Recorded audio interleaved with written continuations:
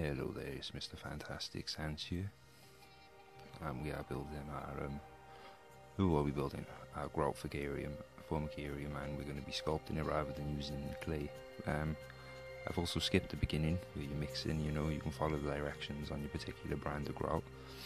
And um, this is a little wooden form that I use. It also serves, you know, to scrape off once this has set. I can use the sides with a metal ruler to scrape the back off so I can keep it nice and sort of square on the top and bottom make sure you allow it to, you know, set for the right amount of time or you don't want to have any nasty messes or accidents because it's a little bit annoying. If you follow my route and you put the perspex or the glass in at the bottom so that it's sort of inlaid, just um, try and make sure you get the right thickness and you know you allow it to set because I was a little bit hasty with mine and I've got some sort of um, flaked sort of edges now but I'll try and sort of touch them up there. Hopefully we won't see too much of them. But um, as you can see, uh, we're starting with the um, hydration system, the water chamber, where we're going to sort of um, be able to keep our hands nice and moist. This chamber is probably going to be about 5 millimeters, 6 millimeters deep, and all on the inside wall of this, then where the ants will be, it's probably going to be double to maybe a little bit higher than that, just to sort of allow um, plenty of room you know, to make a good decision on, you know, how how much moisture they'd like for their, you know, eggs, larvae, or cocoons. So this nest is currently going to be used for my um, Lasius niger colony.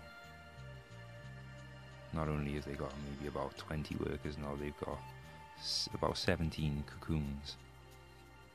But like, you know, over half of them sort of in the last two days have come about, so still got a little bit of time yet, but Yeah, there's only I sort of went for two main chambers with a kind of suspended roof sort of thing, you know, with like stone pillars and what have you.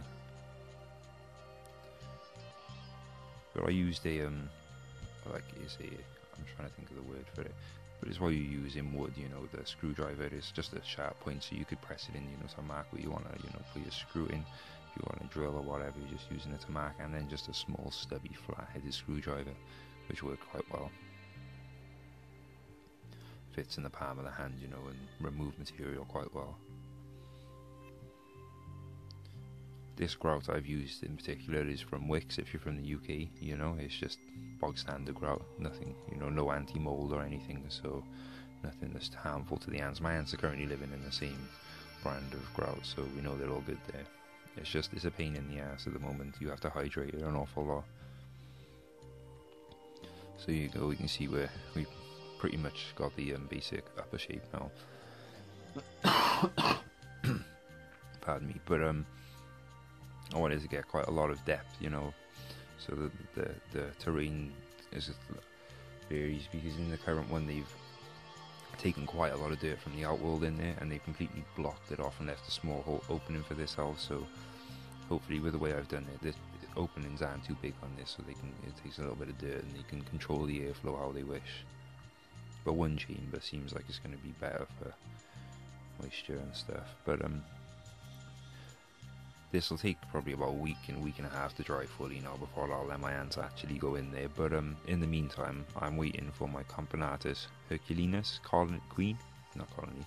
It's just a queen on her own to come. So when she comes, I'll be doing a small update video because I've um, got a whole bunch of outworlds that I'm making too, so that they're all ready. Because the two outworlds I made, which I love really well, by quite a bit. But I've um, I didn't put enough grout. I was running low on grout, so I was a little bit skimpy on the fronts, and I've paid the price now because they've lifted slightly. So I need to kick the ants out of them and um, attach the grout down a bit. So, but the other thing for my outworlds, which um, you might see, and I will put in a little outworld video, is the extra space on my form. I chucked all the excess grout I had in there and I broke that up and used it to carve fake rocks and stuff from my outworld then so I could control size and all that about them. But yeah, so this was, you know, pretty straightforward, nothing special. Um, I drilled a hole for the pipe to go in now and um, I cut some serrated triangles into the pipe so I could turn it and it would, you know, make its way in quite easy. And ma- uh, make its own way, you know, so that the new pipe slots in there, and I can just slot my other pipe over the top of that, and hey presto. You can, you don't have to put your perspex in at the bottom like I did either. You can put your perspex on top. My other one's exactly the same. You know, you can see the flaking just on the edges there, but um, I quite like it. It's quite big, it's heavy, but I, I like the heaviness. You can't just accidentally knock it out. I'm hoping. But yeah, if you enjoyed this video or you, you're looking forward to sort of keeping up with the ants, please like, you know, this video and subscribe for more. I've also got another channel if you're into gaming and other random stuff. But yeah, thank you for watching. This is Mr. Fantastic. I'm out.